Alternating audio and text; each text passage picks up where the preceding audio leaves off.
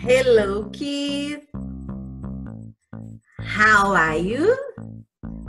A Teacher Carla veio gravar esse vídeo para você, para falar sobre o nosso Double Challenge Day dessa semana.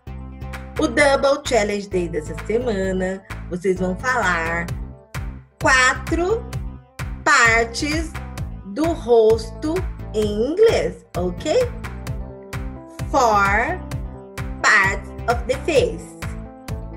For example, nose, nariz, eye, olho, lip, lábio, lip, lábio, ear, ear, ear, ear, ok? Easy peasy, alright? Eu quero ver todo mundo speak English no nosso Double Challenge Day dessa semana. Do you understand?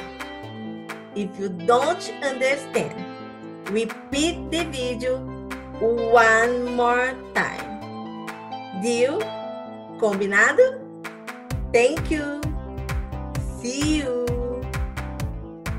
Bye bye.